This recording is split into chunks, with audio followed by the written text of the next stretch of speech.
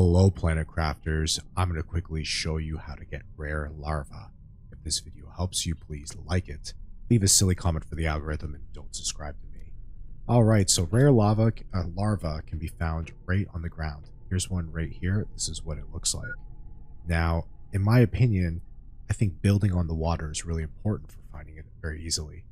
Um, you can actually build like I've done here, just a bunch of foundations then I built my base on it. And these buggers just like love spawning on there.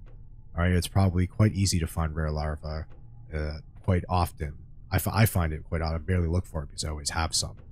Um, so yeah, if you're looking for the rare larva, just build something like this out in the water with all these foundations and they spawn nicely on there. Now, they'll also spawn on land.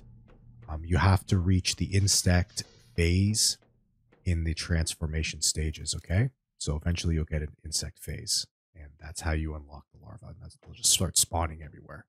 If this video helped you, please like it. Leave a silly comment for the algorithm and don't subscribe to me.